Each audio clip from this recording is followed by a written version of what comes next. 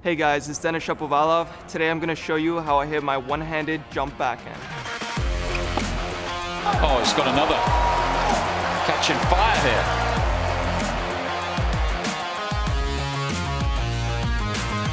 No, honestly, I was hitting it as a junior a lot, so it really came naturally to me. Definitely you can break it down into a couple parts.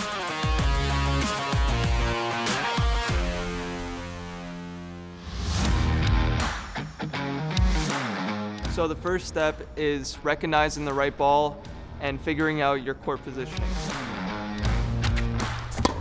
So that one was not too good because it was coming in low and fast, so I wouldn't have time to gather my feet, jump, and it's just too tough to, to get the feet around it.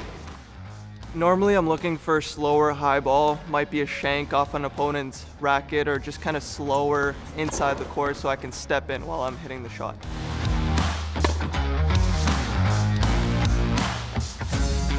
So the second step is creating space. I'll show you guys how I create just enough space so that I can get behind the ball, have enough time to go forward and jump into the shot.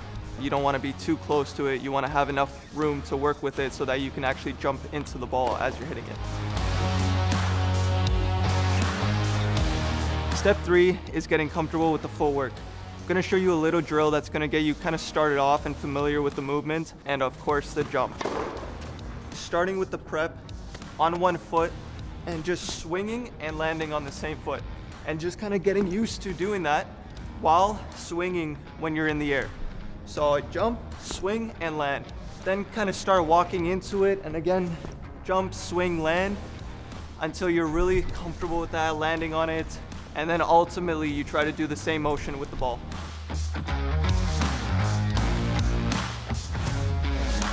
So step four is prepping your take back. Obviously everyone has different technique, different takebacks. For me, for example, I have really big takebacks, especially on the backhand. So when I jump into the backhand, I need to have a lot of space. I like to prep it early, but I still take back more as I'm jumping in the air. So I want to ensure that I have a lot of space between me and the ball. If you have a shorter take back as maybe someone like Roger or Grigor, maybe you want to jump into the ball a little bit closer because you're not going to need as much room to work with and you can just kind of step in closer, jump, and really follow through. Step five, you want to get used to the timing. So I have one more drill for you guys that's really going to get you comfortable with the timing. I'm going to drop my racket and I'm just going to catch the ball. I'm going to do the same movement, same drill, but I'm just going to catch the ball out, out in front of me as I'm jumping. Again, it's more in the footwork, but you're kind of still familiarizing where the ball is and just kind of getting comfortable with, with everything going around before you actually swing for the ball.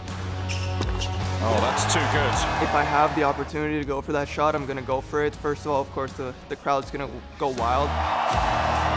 It's a big momentum changer as well. You know, if you hit that shot in an important point, kind of put pressure on the opponent, I just think, you know, we're, we're professional tennis players and, and also showmen. So for me personally, if, if I have the opportunity to go for that shot, I go for it, you know, and I feel like when I actually have the right ball to go for it, it's, uh, it's really effective.